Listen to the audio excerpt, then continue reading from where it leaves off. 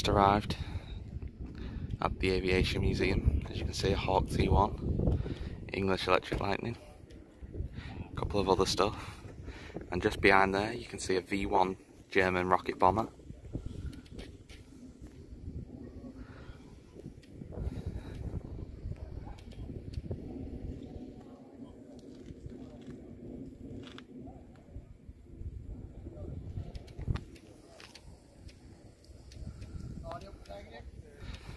I'll be taking you through out of here.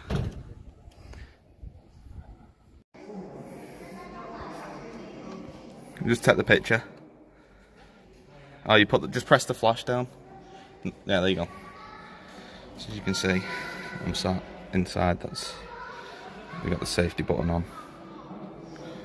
Now I'm in fire mode. A load of different buttons.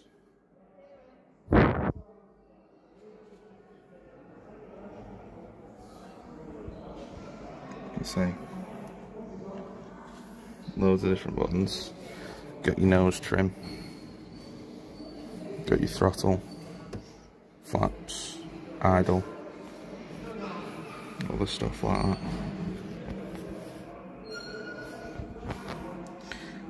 But this would be very uncomfortable. Very. You can see. So I'm currently sat in a Seahawk, as you can see. Actually, you can. You've got your, yeah, you got your rudders down there.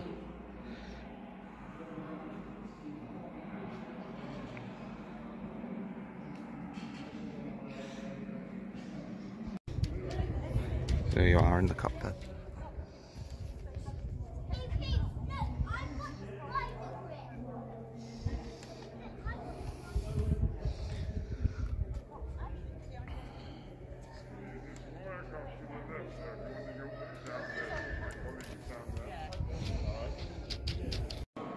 So we've just entered the hangar now. and We're looking through all the different aircraft models. Of course, I will be buying quite a few. Got some of the history. So we are here at this bit somewhere. Is your main runway. That's the airport. As you can see, that's a Seahawk just been inside as you saw. But all these were donated by one person.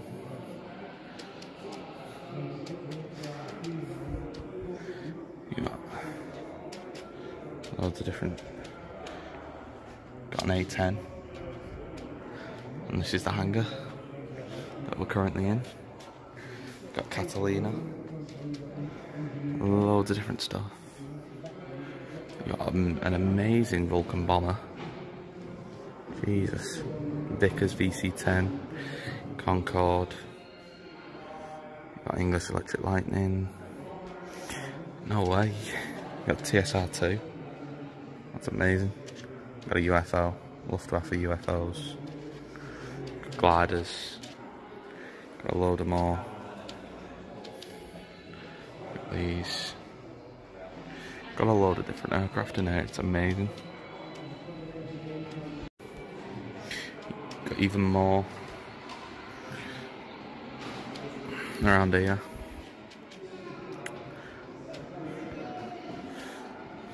I'll have a read of that in a minute. Got got the model of the Dam Busters. Sir Barnes Wallis. I'll go in there one second. There we go. As you can see, and it comes along, destroys that up. You got a load of stuff. Got a Vulcan bomber prototype down there. And this is it. RAF St Mawgan as well. So, so this is the cockpit of a Nimrod. So if we, uh, if we go up and have a look. There you are.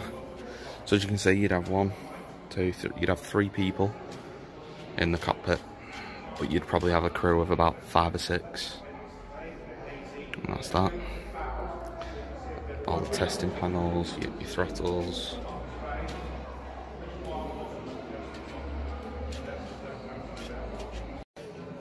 So now I'm currently sat in a Hawker Harrier. Harrier jump jet.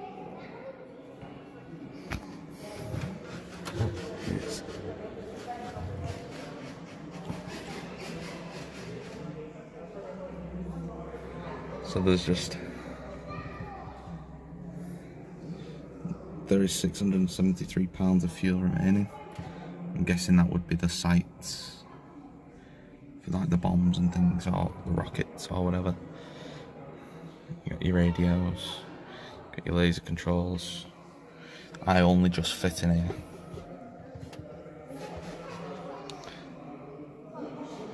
And this canopy wouldn't would close. Yeah, would.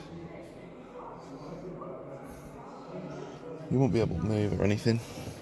Here's like some of the controls. You got your throttles down here and everything. You got your, you got your firing stick and your th throttle and everything. It's really cool this. Really, really cool. But I only just fit in here. Like this whole place is amazing. I mean, I'd love to start my own thing like this. It's just so cool.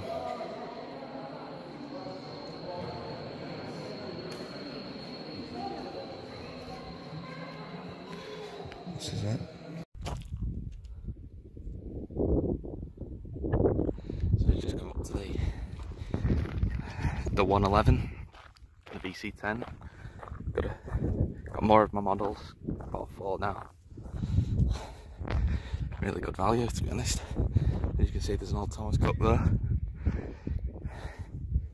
And this is the VC10.